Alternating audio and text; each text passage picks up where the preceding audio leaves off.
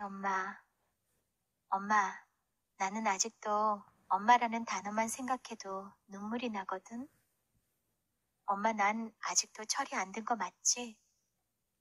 엄마 딸도 벌써 두 남매 결혼시키고 손주가 셋인데도 나는 아직 엄마가 너무 좋아. 엄마, 딸 하나라고 아무것도 시키지 않고 공주처럼 키워주셨던 내 엄마. 그 옛날 다른 친구들은 방과 후 집안일을 도우느라 밭으로 논으로 어른들 따라 일하러 다니던 시절이었는데 엄마는 단 한 번도 이 딸내미를 손에 흙도 묻히지 말라던 내 엄마. 그런 엄마와 난 참 특별한 모녀 사이였지. 아들이 넷이나 있는데도 오직 딸 하나만 바라보시던 우리 엄마. 먹고 싶다 말하면 어떻게든 먹게 해주시고 입고 싶다 하면 입게 해주던 내 엄마.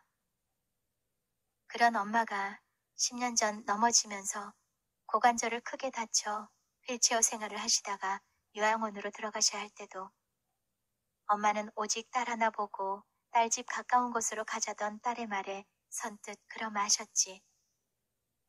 엄마, 그래도 요양원이었지만 면회 갈 때마다 엄마는 앉아 계시고 난 엄마 침대에 누워 있으면 엄마는 내 다리를 주물러 주면서도 눈에서 꿀이 떨어졌던 게 내 눈에 선한데.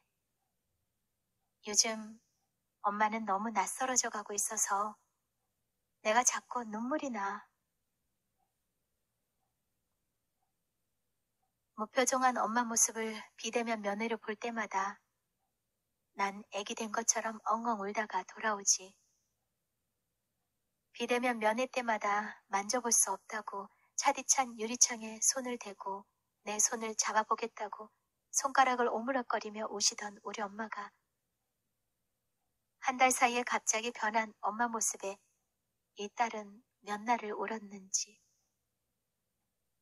엄마, 내가 엄마를 하늘나라 여행 보내고 어떻게 견딜 수 있을까? 보고파서 말이야. 30년 전 아빠 떠나보내고 엄마 혼자 외롭게 사시다가 10년 전 큰오라비 뇌출혈로 하루아침에 잃게 되었을 때도 엄마는 그랬지. 이 애미가 누워버리면 내 자식들 힘들게 하는 거라고 꿋꿋이 엄마의 자리를 지켜줬던 존경하는 우리 엄마. 그런 엄마를 김서방은 언제나 이렇게 표현을 해. 세상에서 우리 장모님 같이 마음이 고우신 분 없다고. 엄마, 엄마, 엄마. 천 번을 부른다 해도 싫지 않는 단어. 엄마, 난 엄마가 내 엄마라서 행복하고 자존감 높게 키워주셔서 아주 많이 사랑해.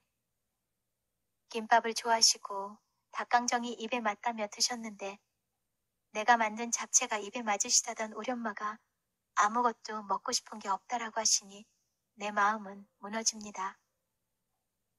엄마, 내 딸아, 그것이 먹고 싶다.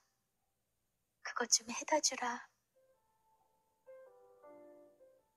그 말씀 좀 해주세요.